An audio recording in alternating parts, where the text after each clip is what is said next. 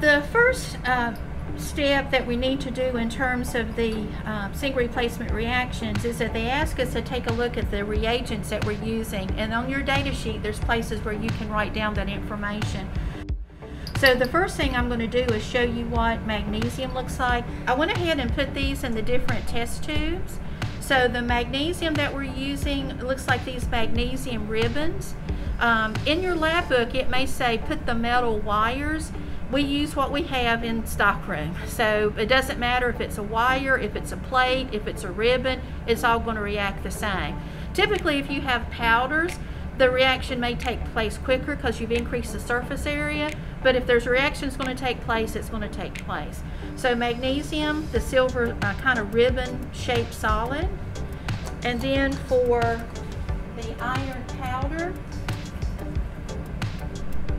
have kind of a light charcoal, I guess I would say, light charcoal, and this is a powder, but again, react the same.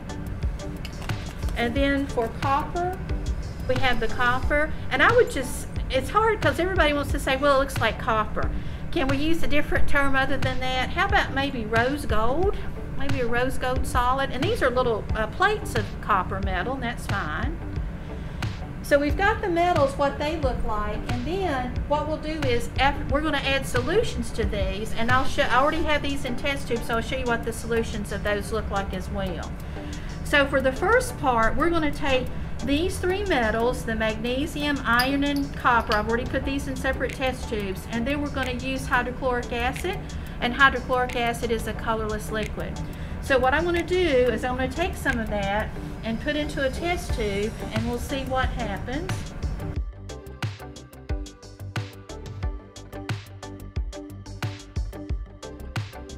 And you can see we have a tremendous amount of bubbles that's forming. And it's so hot I can't touch it for any length of time.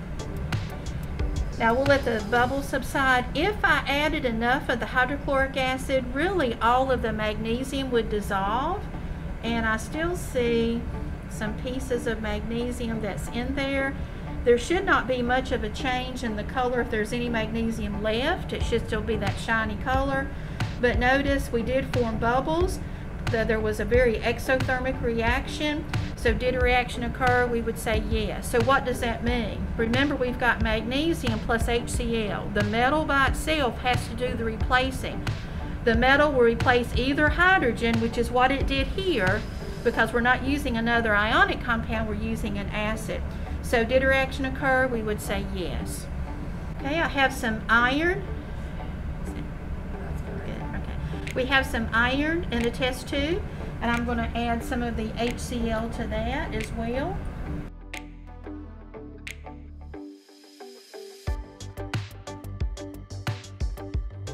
So for the addition of the hydrochloric acid to the iron, we have some um, bubbles that's formed. The solution turned a little bit of an orange color, or excuse me, yellow color. Um, that could be some impurity that might be in the iron. But we do have a reaction where there is some bubble formation. I'm going to shake that just a little bit. And again, if we are seeing the bubbles, that means that there is a reaction. So that means Fe replaced the hydrogen. So what does that tell us? That tells us that iron is more active than hydrogen. What did it tell us with the magnesium? That magnesium is more active than hydrogen. What does that tell us overall? Well, right now we know that magnesium is more active than hydrogen, iron is more active than hydrogen, but if I were to ask you, who do you think is more active, magnesium or iron?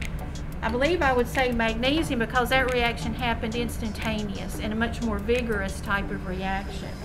So the last one we're going to take a look at with the HCl, I've got the copper in a test tube.